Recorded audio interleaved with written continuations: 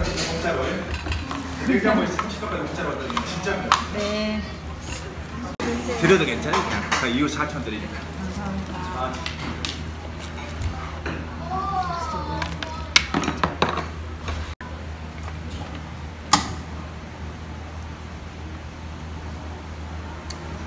되게 맛있지.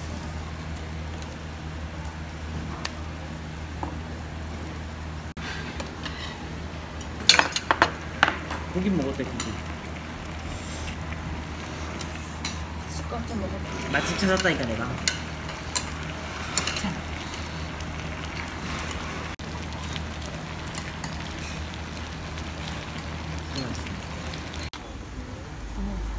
아, 이게 진짜 맛있어. 내가, 내가 소개시켜준 거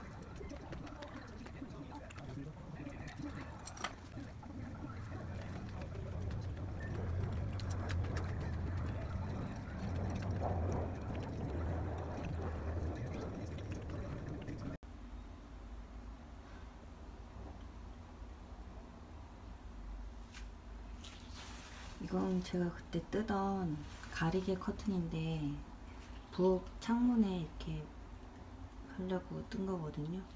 근데 부엌이 좀 좁은 부엌이라서 여기 이렇게 끝까지 다 하게 되면 좀 좁아 보일까봐 한 반 좀 넘게까지만 떴는데 엄마가 보고 이렇게 끝까지 뜨는 게 더 좋을 것 같다 그래서 추가로 더 떠야겠어요.